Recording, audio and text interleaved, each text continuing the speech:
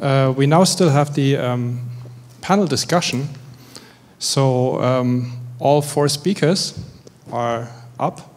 So if there are questions, please raise them. Otherwise, I, I do have a question to start with, maybe a bit heretic.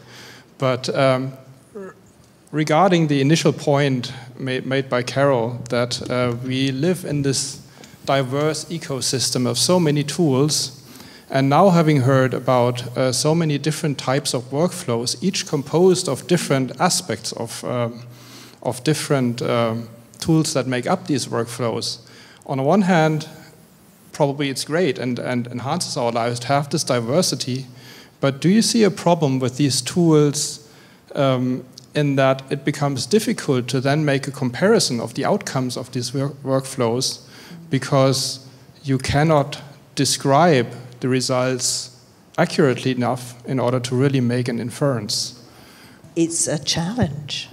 Um, so it depends at the level you're, you're wanting to uh, describe your workflows. So we've been attempting to harmonize through shared descriptions at least uh, and some steps so that you can see what is actually what are the basic steps that are, are, being executed, but also to encapsulate through containers the actual tools that you were using, the versions, this kind of thing, and also to annotate the uh, workflows, I'm talking about our workflows now in, in Elixir, with um, a, um, a, shared ontology which we've been developing that describes inputs and outputs and types and so on. So you can go at least to some point to say within a particular domain, can we produce libraries of workflows and can we set up comparisons?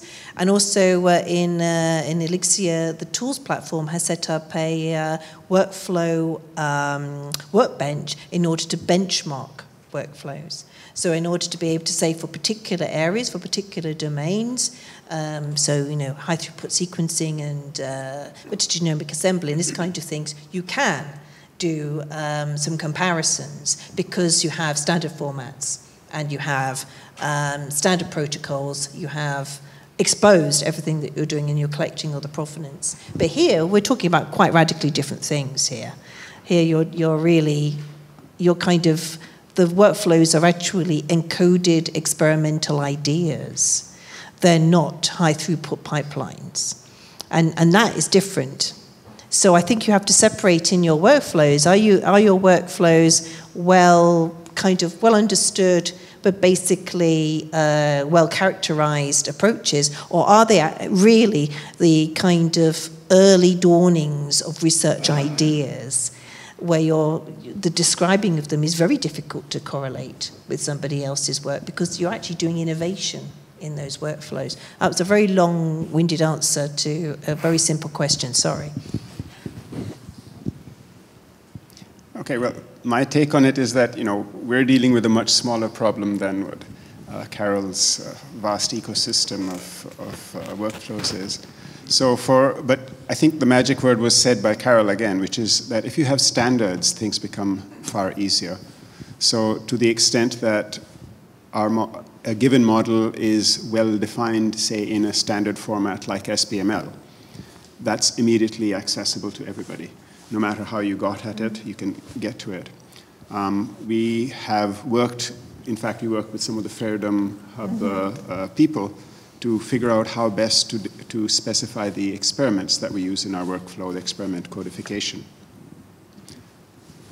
It's, as you say, it's an, at an early stage. There is no current standard for doing this, which does everything. SED-ML does some things, other things do other things.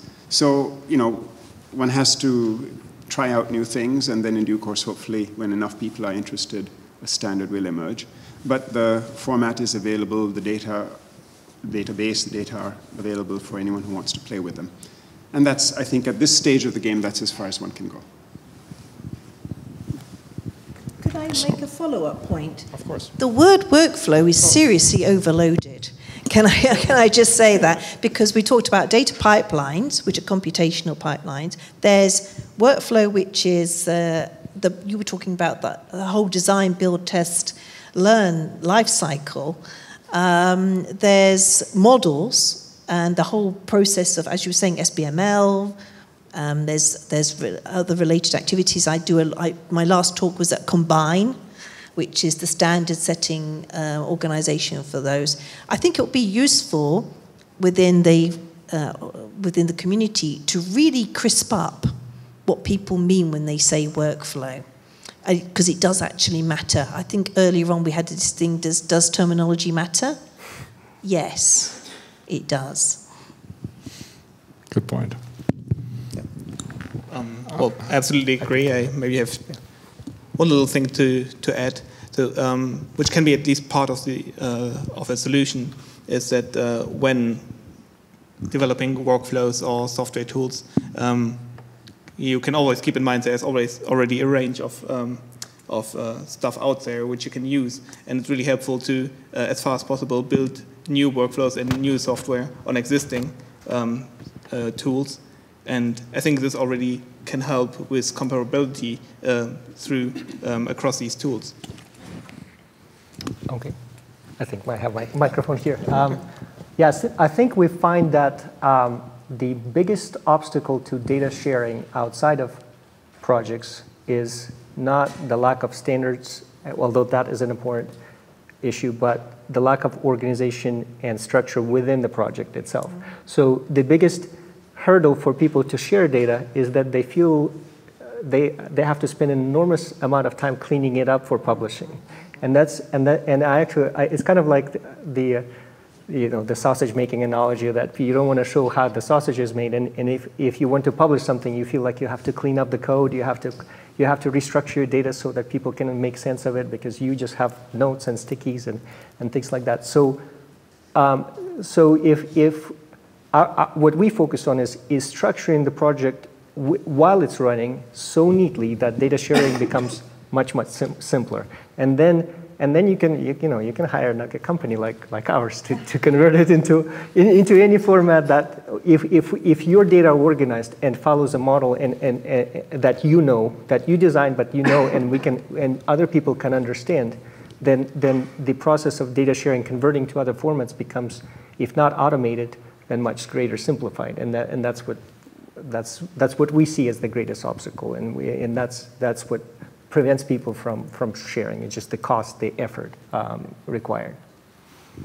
Yeah, I would say that uh, you, the way to do this is to spin it around and not think about how do I make my things shareable and how do I make things reproducible, but how do I improve my project, project productivity.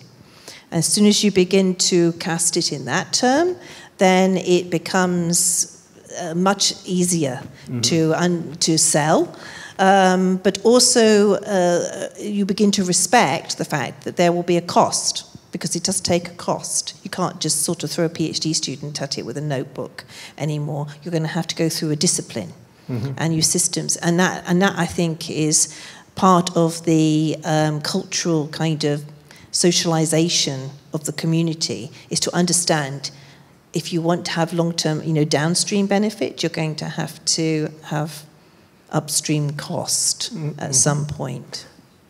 Well, for, for a project of uh, any significant size, the, the uh, actual payoff from org organizing and structure within the project will come within the project, not afterwards. So, yeah, it's, exactly. it, so in, in a way, we can, we, we, we, when we talk to people, we don't motivate them by sharing data and open yeah. science, but your project will run smoother yeah. if, you, if you scale to more than two or three people working together once you once you organize it, it, you, it pays off very quickly. Yeah, exactly. And retention. That's the other thing. That, retention is the big sell point to uh, PIs. Retention of people or of data? Retention of information when people move. Because in research, people are churning all the time, they're leaving all the time. And uh, my experience is that uh, investigators are more interested, they, they, they get it when they uh, understand the retention issue Whereas if you try to do to explain the sharing issue, then that's much less compelling. So maybe, uh, unless there's a question from the audience, but maybe just related to this point, you had a, uh, Dimitri, you had a very interesting Venn diagram in your talk about uh, experimentalists, data scientists, and data engineers. And from my perspective, I, I, I, would completely agree. Also, what was basically evident in all the talks, it's, it's very difficult for this data uh, management stuff to be done by a lab. So, so do you think this is a model that needs to be incorporated in general in the neuroscience to have these dedicated data engineer positions? And how could we convince basically the people who give us money that this is required? What do the panelists think about this? Is this required for the future, or will the tools be good enough at some point that we don't need it? So I could say in Elixir, we say you need data engineers and you need research software engineers. So it isn't just that you need the data engineers and you need some professionalization around data stewardship. Um, you also need professionalization in software engineering if you're going to have software, software environments and tools that will be used by more than the person who just built them. Um, I mean, I, I think that um, the points that you made and Carole made are actually resonate well with the funding agencies. That if you want data retention, they certainly believe in data reuse. They really like big groups to be able to use each other's uh, results and make something bigger and better. Um, I mean, yes, so to the extent that you can get them to, to buy into the idea, you can hopefully get them to fund a position, but unfortunately, this may only be for a finite period of the length of the grant. So we still have the longer term problems. Um, uh, yeah, so I, I, think a little bit of everything will happen. So it's kind of, um, as the tools improve, to do the current level of science will require fewer people uh, to, to, but as it's kind of the Red Queen situation, to stay in the same place you have to, uh, you have, so, so as tools improve, so I think uh, people will be, be, uh, a data scientist who knows a, a few tools and, and, has access to uh, a network that supports that infrastructure that they're using, whatever it is, um, they can become more efficient. But as they become more efficient, and as we invent new tools for electrophysiology and all kinds of neuro uh, neurophysiology experimental modalities, the complexity of the data becomes is becoming much more multimodal, much more uh, massive um, it, it, will require a next level of complexity, and then and then once we adopt to that, it, it, it will only so so it is a little bit of of everything will happen. So people will get better. So it will not require to to have you will not need to do a, a dedicated data engineer, data scientist for the type of project that currently do, but then you'll step up to the next level. okay, so.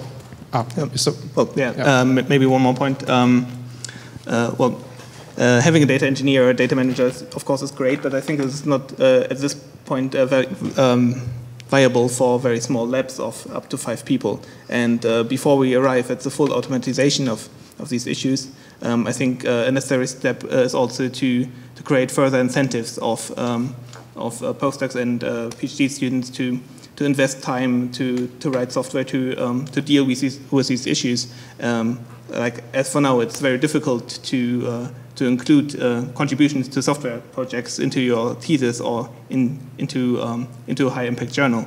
So uh, the well, the measure of success uh, should also uh, adapt to these issues. Yes. So in light of the time, um, I think we need to come to a close, although everything was uh, very much in time. The good thing is the workflow we will do now is very linear and very simple.